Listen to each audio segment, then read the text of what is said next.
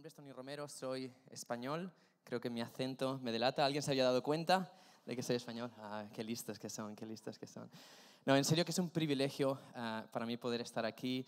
Durante muchos años hemos conocido a, los pastores Robert y Karen, bueno, toda la familia Barriger, que son espectaculares, y, y siempre he tenido en mi corazón el, el, deseo de poder estar aquí con ustedes, así que por fin, por fin se ha dado la oportunidad de estar aquí, y la verdad que es todo, todo un honor. Les contaba, yo, español, a los 21 años, en el 2005, sentí en mi corazón el deseo de, prepararme para, el ministerio, para el, llamado de la alabanza, la adoración. Así que decidí irme para Australia, en la iglesia Hillsong, por un año, para, para estar allí estudiando, para poder crecer. Y mi plan era volverme a España, pero ¿cuántos saben que nosotros tenemos un plan y muchas veces Dios tiene planes bastante diferentes? Y ese año se convirtió en dos años, dos se convirtieron en tres, tres en cuatro. Acabé quedándome ahí por diez años, como, contaba el pastor Robert, me acabé casando con mi esposa Tania y, ah, y bueno, tuvimos nuestra primera hija ahí en Australia. Y va a hacer ahora casi tres años que nos mudamos para Buenos Aires para apoyar a nuestros pastores Chris y Lucy en lo que es la, la iglesia Hilson en Buenos Aires. Y bueno, ahora hemos estado creciendo, estamos en Hilson San Pablo, pronto estaremos en Hilson Monterrey, así que seguimos creciendo como familia. Y tenemos dos bebés más, que ahora son argentinos, que Dios me ayude, tengo dos argentinos. Uf, me da miedo porque yo pienso cuando sean mayores me van a decir, che, viejo, dame plata. Me van a hablar así, yo digo, no, Señor. Pero bueno, eso es, uno tiene que sacrificar cosas por, por el llamado de Dios, ¿no? Pero les muestro una foto, les he dejado al equipo una foto de mi familia. Literalmente le pedí a mi esposa ayer, estaban en el parque, se sentaron allí, esta es mi esposa Tania, la mayor que tiene tres años, Meli, a la izquierda, la del medio, Ariana, que tiene 16 meses, recién está empezando a caminar, y el pequeño que tiene, mañana va a cumplir tres semanas, Dylan, por fin se vino el varón. Así que oren por nosotros, tres bebés con menos de tres años, así que oren por mi esposa en particular, necesitamos oración. Pero, pero la verdad es que amo la familia y es un regalo de Dios. Así que, bueno, ¿qué tal si oramos antes de, de compartir la palabra en esta media hora que tenemos juntos? Señor, te damos gracias por este tiempo que podemos compartir juntos. Gracias por lo que estás haciendo en medio nuestro. Gracias por lo que estás haciendo a través de la conferencia La Sal. Oro, Señor, que hoy nos hables, que me puedas usar para, para comunicar la palabra que tú has puesto en mi corazón y que, que pueda caer en buena tierra y que pueda dar el fruto que tú quieres que pueda dar. En el nombre de Jesús, amén y amén. Hoy tengo en mi corazón compartir un mensaje bien sencillo y bien práctico que creo que puede ayudarnos sea en cual sea el área dentro del equipo creativo en la que estemos involucrados. Vamos a ir directamente al libro de Proverbios. Es un libro que está lleno de sabiduría. ¿Cuántos aman el libro de Proverbios? Es uno de mis favoritos en la Biblia. Si no lo han hecho nunca, en Proverbios hay 31 capítulos, así que lo típico de leer un capítulo cada día y en un mes entero puedes leer todo el libro de Proverbios. Proverbios capítulo 4, versículo 20 al 23. Dice lo siguiente, creo que va a estar en las pantallas. Dice, Hijo mío, presta atención a lo que te digo. Escucha atentamente mis palabras, no las pierdas de vista. Déjalas llegar hasta lo profundo de tu corazón pues traerán vida a quienes las encuentran y dan salud a todo el cuerpo. Versículo 23 dice, sobre todas las cosas cuida tu corazón, porque este determina el rumbo de tu vida. Sobre todas las cosas cuida tu corazón, porque este determina el rumbo de tu vida. Este mismo versículo, Proverbios 4:23, en la Reina Valera, que es obviamente la traducción del cielo, ¿Vosotros me entendéis? Proverbios 4:23 dice, sobre toda cosa guardada, guarda tu corazón, porque de él mana la vida. Así que si quieren un título para esta charla es Guarda tu corazón. Guarda tu corazón.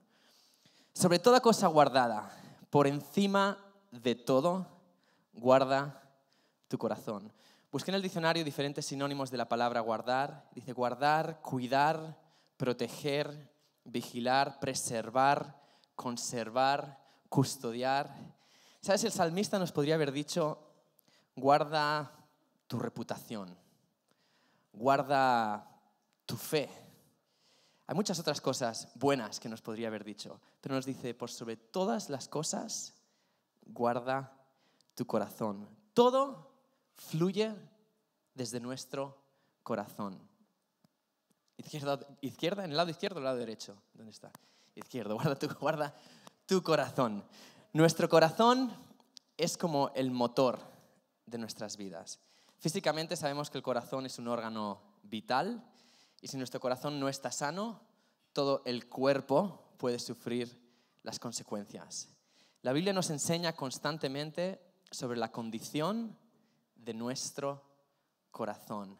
Hablando espiritualmente, nuestro corazón es el centro de quién somos, es el centro de nuestra identidad, es desde donde fluye todo en la vida. Hoy en día, en la sociedad en la que vivimos, es muy común cuidar de nuestro cuerpo y de nuestra salud para tener un corazón saludable a nivel físico. Hacemos ejercicio para que nuestro corazón esté fuerte. Cuando digo hacemos, hablo en fe, porque yo no hago, pero algunos hacen ejercicio. Para aquellos que no me conocen, bueno, yo no soy la persona más atlética que uno pueda imaginarse. Sé que lo, eh, están sorprendidos después de ver este físico tan impresionante, pero es broma, es broma. Pero si cuidamos de nuestro cuerpo y de nuestro físico, ¿cuánto más deberíamos pasar tiempo preocupándonos por la condición de nuestro corazón? Te quiero preguntar hoy, ¿cómo está la condición de tu corazón? ¿Cómo está la condición de tu corazón? Mateo 12, 35, versículo que seguro que conocemos, dice, una persona buena produce cosas buenas del tesoro de su buen corazón. Y una persona mala produce cosas malas del tesoro de su gran corazón. Me encanta lo sencilla y lo clara y lo directa que es la palabra de Dios. El corazón es como un árbol que produce fruto y el corazón es las raíces, es el origen, es la fuente. Y el árbol, el fruto, depende de la salud de las raíces, del corazón. El buen fruto o el mal fruto que, la vida, que el corazón vaya a producir, depende de las raíces, del corazón. El corazón es desde donde nace todo lo que hacemos y todo lo que nuestras vidas producen. Así que hoy me encantaría que pudiéramos hacer un poco un análisis, un chequeo personal y preguntarnos qué es lo que está produciendo mi corazón. ¿Qué es lo que está produciendo mi corazón? ¿Qué actitudes? ¿Qué carácter? ¿Qué conducta? ¿Qué fruto? Porque el fruto de nuestra vida depende de la condición de nuestro corazón. Proverbios 23, 7, no está en las pantallas, pero es un versículo que todos conocemos. Dice, como el hombre piensa en su corazón, así es él. Es interesante que no dice como el hombre piensa en su mente, sino cómo piensas en tu corazón. Es algo mucho más profundo. Estamos hablando del corazón, del centro de quién somos, el centro de nuestra identidad. ¿Qué hay en tu corazón? Es una de las preguntas más importantes que podemos hacernos en nuestra vida. ¿Qué hay en mi corazón? ¿Cómo está la condición de mi corazón? Yo quería compartir por unos minutitos sobre diferentes áreas, diferentes puntos, diferentes cosas de las que deberíamos guardar nuestro corazón para que nuestro corazón esté sano y pueda dar el buen fruto que Dios quiere que dé. ¿Creen que esto les puede ayudar esta tarde? Bien. Si no, está bien, tengo yo el micrófono, lo vamos a hacer de todas formas. Así que, punto número uno, guarda tu corazón de la amargura. Guarda tu corazón de la amargura. Quizás suene un poco intenso para un jueves, pero quédense aquí conmigo, va a ser bueno. ¿Cuáles son las características o síntomas de un corazón con amargura? Si te sientes identificado con alguno de estos síntomas, simplemente estamos aquí para que mires tu corazón y puedas preguntarte por qué es que eso está ahí. Es como que estamos haciendo una revisión médica y estamos analizando qué es lo que está pasando en nuestro corazón. Un corazón amargado es un corazón áspero, un corazón ofendido, un corazón dañado. Y a veces permitimos que la amargura entre en nuestro corazón por diferentes cosas que pueden pasar Puede entrar amargura cuando las cosas no salen como nosotros queremos que salgan. O cuando vemos que otra persona es más feliz y es más bendecida que nosotros. Un corazón egoísta es siempre un corazón amargado. Siempre piensa en sus propias necesidades antes que las necesidades de los demás. Un corazón amargado siempre está buscando el error, siempre está apuntando, señalando con el dedo. La amargura te destroza por dentro. Hay un salmo, el Salmo 73, 21. Dice, entonces me di cuenta de que mi corazón se llenó de amargura y yo estaba destrozado por dentro. La amargura te destroza por dentro. A un corazón con amargura le cuesta servir a los demás.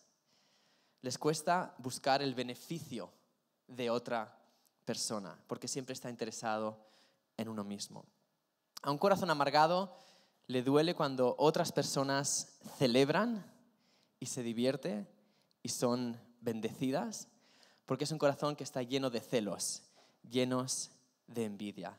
Yo te quiero preguntar, ¿qué siente tu corazón cuando ves a otras personas bendecidas? ¿Qué siente tu corazón cuando ves a otras personas recibiendo su sanidad y quizá tú no la ves?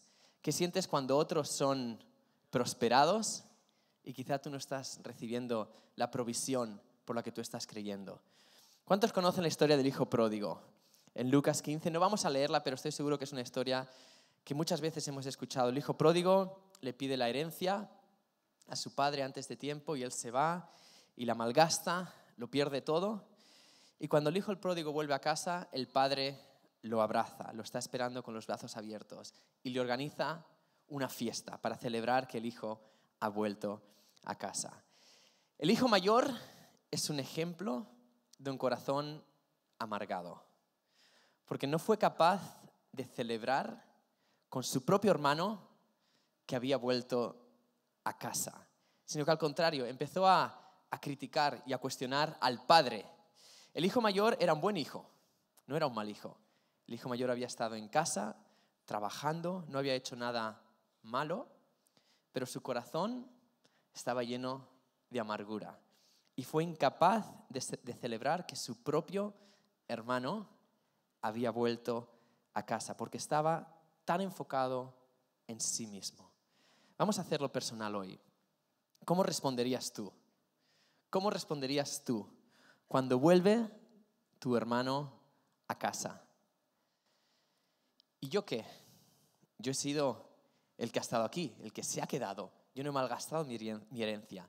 Yo he estado en la casa, sirviendo fielmente. ¿Dónde está mi recompensa? ¿Y la fiesta? ¿Para mí cuándo? Yo llevo más tiempo cantando en el equipo de alabanza. Porque ahora de repente ponen a otra persona a liderar y alguien más tiene más oportunidades que yo cuando yo he estado aquí por más tiempo. Yo no he cometido los errores que ellos han cometido. Yo he estado aquí fielmente sirviendo. Creo que todos en nuestra naturaleza humana tenemos una parte de la actitud del hermano mayor. ¿Cuál es el antídoto? ¿Cuál es la medicina para un corazón amargado? ¿Cómo vencemos la amargura? ¿Cómo protegemos nuestro corazón?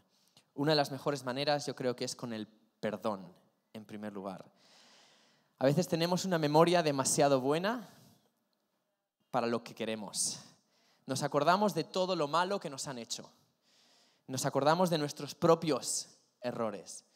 Pero la Biblia dice, que Dios nos perdona y que Él no recuerda nuestros pecados, Él lo olvida. Tenemos que aprender a olvidarnos un poco mejor de ciertas cosas.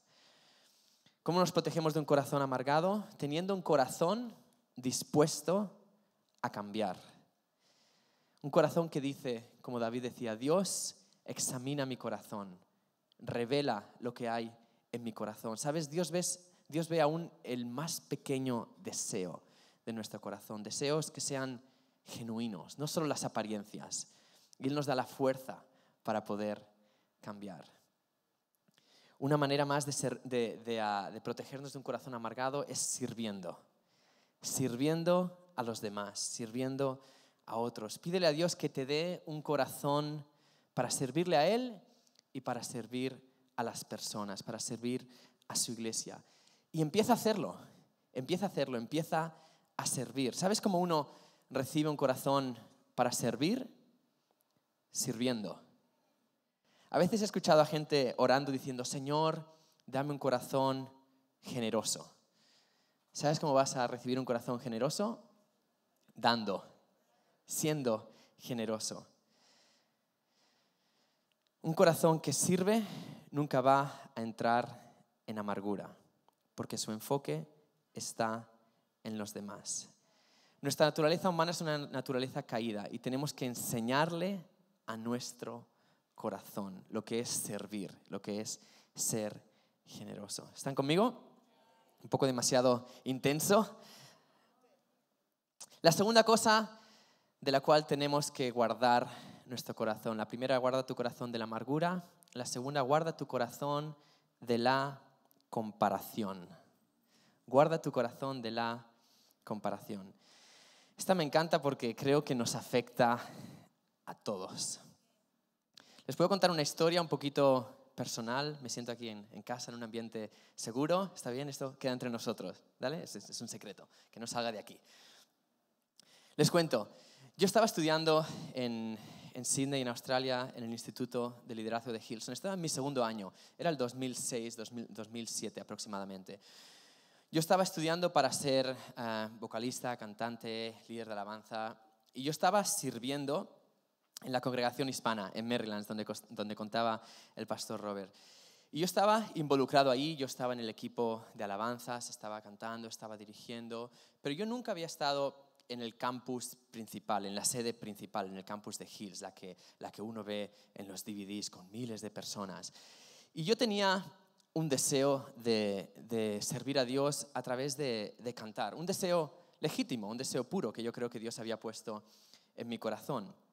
Y yo llegaba a la iglesia el domingo, al, al campus principal, a la sede principal, y yo veía a otros estudiantes que estaban cantando, que tenían la oportunidad de, de poder estar aquí en la plataforma. Y yo los miraba y yo decía, pero si yo soy mejor que ellos. Estas son cosas que obviamente uno nunca dice, estas son cosas que uno piensa en su corazón. Estoy siendo aquí un poquito vulnerable, honesto. Yo pensaba, pero si yo lo conozco a ese, yo sé los errores que ha cometido. ¿Cómo, cómo, los ¿Cómo, lo ponen en la plataforma a cantar? Esta gente de Hilson, ¿no me ha visto a mí cantando o qué? O sea, no, no. Yo pensaba, si yo canto mejor que ellos, ¿por qué yo no tengo las oportunidades que ellos tienen? Esta gente no reconoce lo que Dios ha puesto sobre mi vida.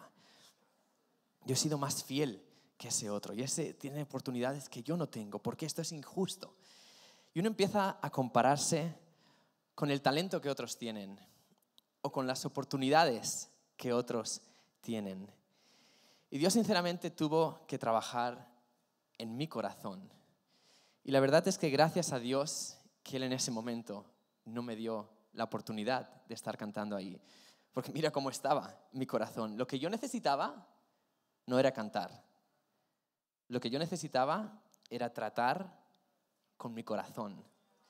Así que yo siempre digo sinceramente que creo que crecí más al no recibir las oportunidades que yo esperaba que se las hubiera tenido. Crecí más al no recibir las oportunidades que yo quería, obviamente que eran buenas, que eran un, deseo y un sueño que yo creía que Dios había puesto en mi corazón.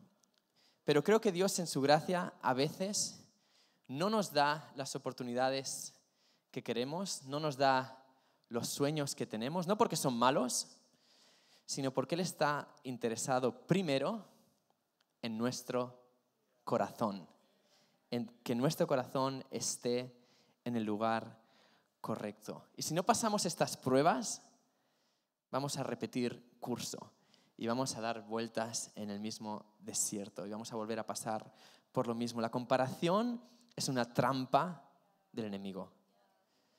El enemigo la usa constantemente y todos hemos estado en situaciones en las que permitimos que la comparación se levante en nuestro corazón. ¿Hay alguien aquí que alguna vez se ha comparado con alguien más?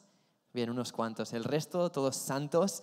Que Dios les bendiga. Vengan después, pónganme las manos, me, me caigo, me tiro, lo que sea. Lo que sea, oren por mí, por favor. Todos somos de carne y hueso y todos hemos, nos hemos comparado con alguien más, pero es un área en la que tenemos que cuidar nuestro corazón y vigilar que no entre la comparación. ¿Sabes? Dios te ha llamado a ti a correr una carrera específica, una carrera en particular. Dios ha trazado un camino para ti. Pablo habla de cómo él corrió su carrera.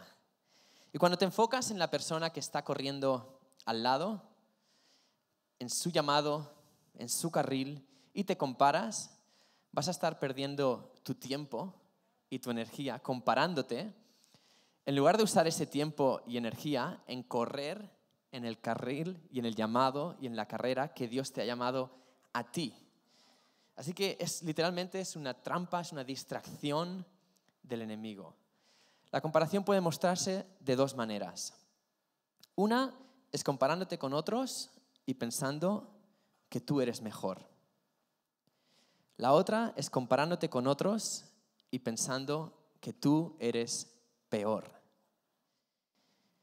La comparación te hace, sentir que tú eres mejor que nadie o que tú eres peor que todos. Y ninguna de esas dos perspectivas es una perspectiva sana. Como seguidores de Jesús, como personas con el deseo de construir la iglesia, no podemos permitirnos el lujo de compararnos con los demás. En tu trabajo no puedes permitirte el lujo de compararte con los demás. En tu familia no puedes permitirte el lujo de compararte con los demás. En tu equipo en la iglesia, en el ministerio, no puedes permitirte el lujo de compararte con los demás. Porque Dios nos ha creado a todos de una forma única, con algo específico y único que solo nosotros podemos aportar. Y si intentamos ser alguien que no somos, no vamos a poder aportar lo que Dios nos ha llamado a nosotros a hacer. Amén. La comparación es peligrosa porque nos hace competir. Nos lleva a ver a los demás como rivales. Y sabes, no somos rivales los unos de los otros. Si estás aquí y eres de, otra iglesia, de otra ciudad, no somos rivales. Somos parte del mismo cuerpo. Estamos construyendo la misma iglesia. Estamos edificando el mismo reino. No hay competición. No debería haber competición. Somos un solo cuerpo. Así que no usemos nuestra energía en competir, usemos nuestra energía en correr la carrera que Dios nos ha llamado a correr. Amén. ¿Cuál es el antídoto para combatir la comparación. ¿Sabes? Una de las mejores cosas que puedes hacer es bendecir. ¿Qué me refiero con esto? ¿Sabes? Si alguien tiene más que tú, bendícelo. Si alguien canta mejor que tú, bendícelo. Si alguien predica mejor que tú, bendícelo. Si yo escucho a alguien predicar o, o llevar la alabanza y lo primero que hago es compararme, me estoy haciendo daño a mí mismo. Estoy limitando lo que Dios quiere y puede hacer conmigo y en mí. Lo mejor que puedo hacer es bendecir a la persona, es hablar palabras de vida, es decirle, qué buen trabajo que has hecho. Me alegro por ti, me alegro de que Dios te abra puertas y que te dé oportunidades. Y decirlo de forma genuina, decirlo de todo corazón y tú mismo estarás matando esos deseos de comparación que se quieren levantar en tu corazón. Usa tus palabras para bendecir, para levantar, para animar a las personas. Amén. ¿Les está ayudando esto? La mejor manera de contraatacar la, comparación es hablando palabras de ánimo, es levantando, es bendiciendo y te vas a sentir libre. Te vas a sentir libre. Hay gente que vive tan atada que son incapaces de darle un cumplido a alguien más, de decirle, buen trabajo, qué bien lo has hecho, de hablar bendición, de hablar vida y de hacerlo de corazón, no solo de palabras. Y es triste que uno pueda llegarse a sentir tan inseguro en su corazón que todo su mundo gire a su alrededor y que no sea capaz de poder ser de bendición a otros. Así que te quiero animar a que trates con tu corazón, que guardemos nuestro corazón de la comparación. Corre tu carrera. Sé quien Dios te ha llamado a ser. No compitas, no seas un rival, sino que contraataca esa tendencia de compararte hablando palabras de bendición y palabras de ánimo. Todos somos diferentes, pero todos somos parte de un mismo cuerpo. Hay un pasaje en 1 Corintios que estoy seguro que hemos leído muchísimas veces y que todos conocemos, en el que se nos habla en cuanto a la iglesia como un cuerpo. Está en 1 Corintios 12, del 12 al 20. Me encantaría leerlo en la traducción en lenguaje actual, porque me encanta cómo lo pone. Dice lo siguiente, dice, la iglesia de Cristo es como el cuerpo humano. Está compuesta de distintas partes, pero es un solo cuerpo. Entre nosotros, unos son judíos y otros no lo son.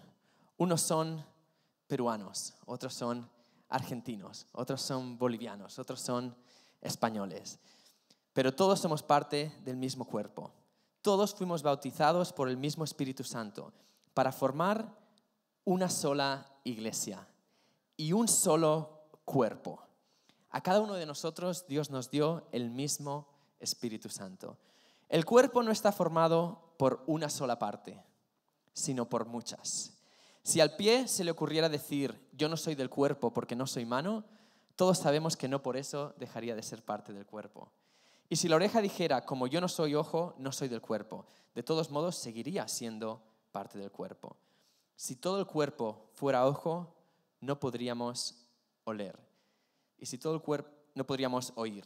Y si todo el cuerpo fuera oído, no podríamos oler. Me encanta este versículo, versículo 18.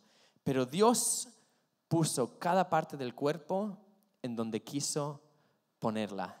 Dios puso cada parte del cuerpo en donde quiso ponerla. ¿Sabes? Tú no decides qué parte del cuerpo eres. Dios es quien decide dónde ponerte. Así que si te toca ser uña, sé la mejor uña que puedes ser.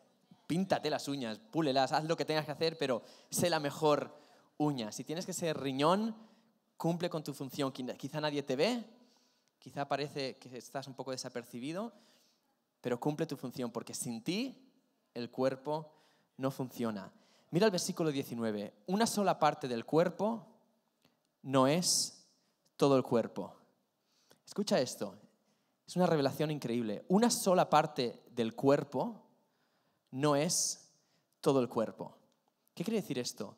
Yo no soy el cuerpo de Cristo. Nosotros somos el cuerpo de Cristo. Una sola parte del cuerpo no es todo el cuerpo. Yo no soy la iglesia.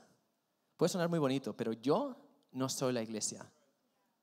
Nosotros somos la iglesia. Nosotros somos el cuerpo. Una sola parte del cuerpo no es todo el cuerpo. Y aunque las partes del cuerpo pueden ser muchas, el cuerpo es uno solo. Así que te animo a que cumplas tu función y corras tu carrera. Y punto número tres, guarda tu corazón del orgullo. Como dirían en Argentina, el orgullo. El orgullo. Me está costando lo de la pronunciación argentina. Les cuento esta historia. Cuando estaba en mi segundo año, creo que el segundo año fue un año en el que Dios trató bastante conmigo, estaba estudiando y a los estudiantes eh, en Hilson nos ponen a servir en diferentes áreas donde hay necesidad, pero uno no escoge donde uno sirve, sino que a uno lo, lo asignan a ese área. Y bueno, estábamos eh, por entrar en la conferencia Hilson, una conferencia que hacemos una vez al año, en el mes de julio, una conferencia enorme, miles de personas vienen invitados de todo el mundo, los mejores predicadores, las mejores bandas.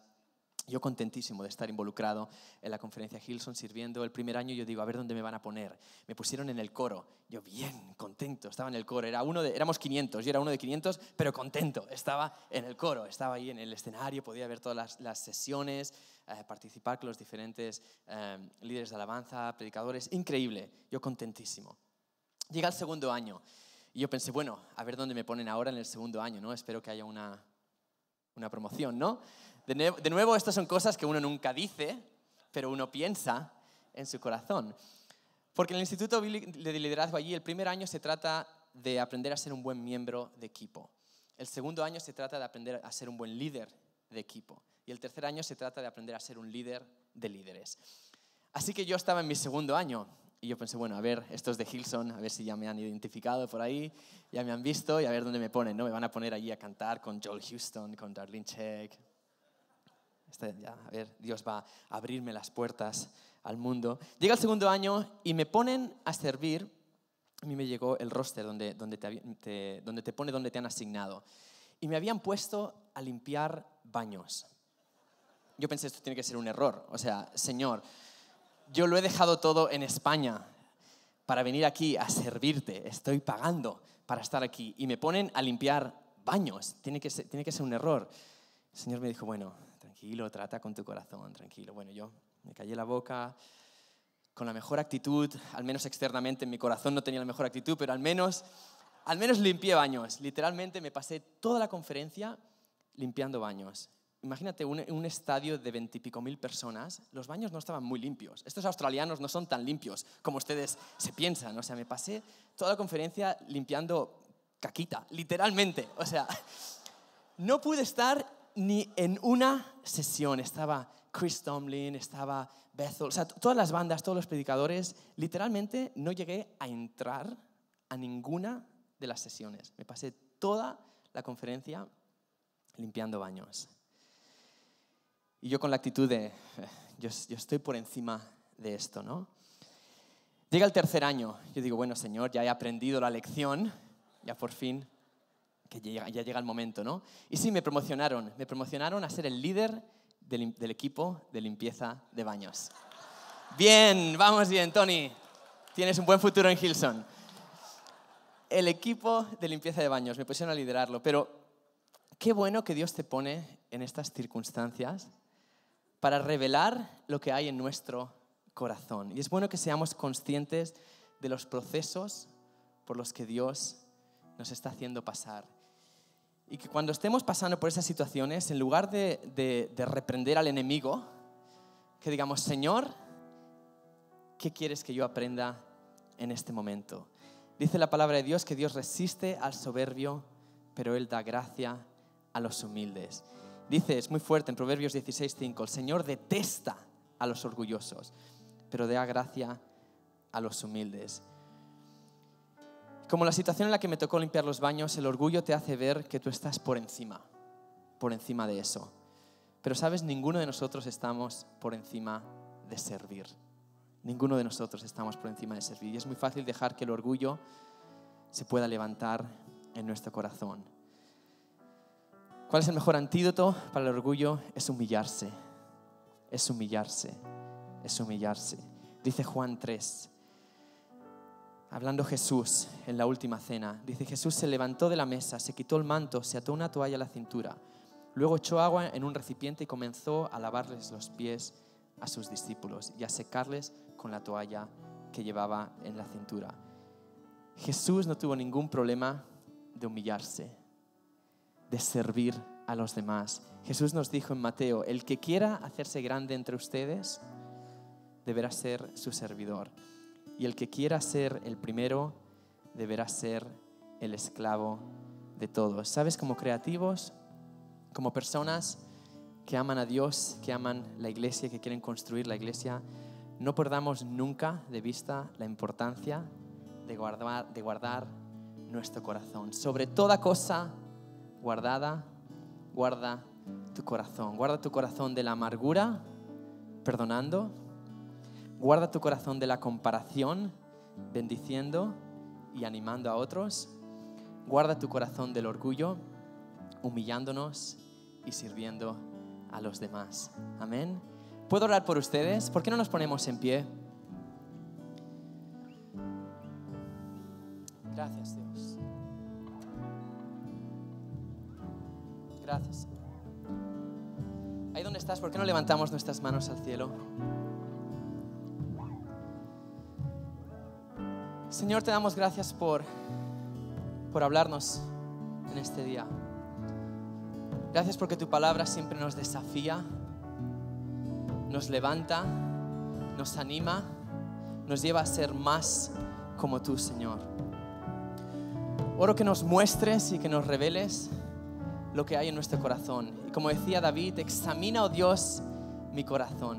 Examina, oh Dios, mi corazón.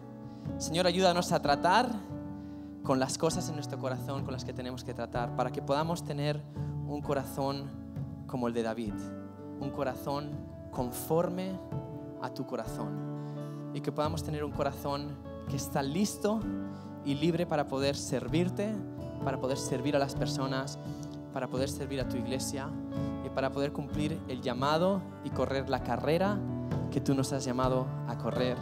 En el nombre de Jesús. Amén. Y amén. Gracias, iglesia.